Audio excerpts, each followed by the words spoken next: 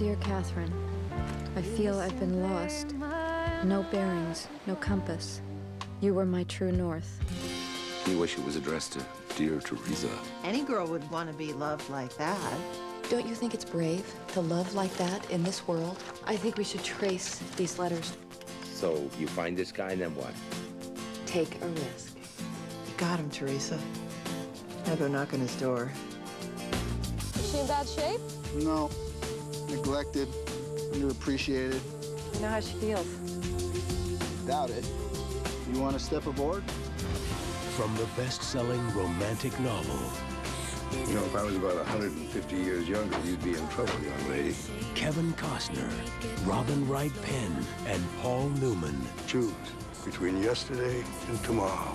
Message in a Bottle, rated PG-13, starts Friday, February 12th.